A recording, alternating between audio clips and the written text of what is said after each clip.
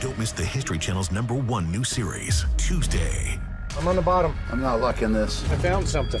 What you have here is absolutely rare for this area. This is a spondylus shell necklace. Wow. Now that's pretty big.